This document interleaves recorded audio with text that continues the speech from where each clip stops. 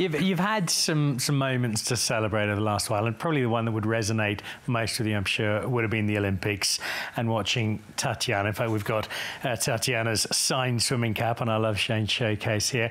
Well, what was it like for you watching that performance? I've got chills. Um, reminded me so much of Cameron um, and and just the perfect build-up. You know, um, I think Tatjana, she.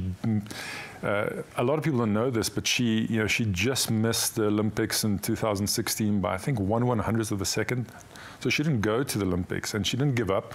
She came back. She was on the radar at the Commonwealth Games after that, and all the um, the swimming pundits, you know, started to see her move up the ladder, and uh, just absolutely perfect. Everything has just been perfect, and I must give big credit to her coach. Uh, you know, Rocco Meiring has been coaching for a long time. This is his first big superstar, but they managed everything just perfect. Not getting too excited, not not you know celebrating before the final.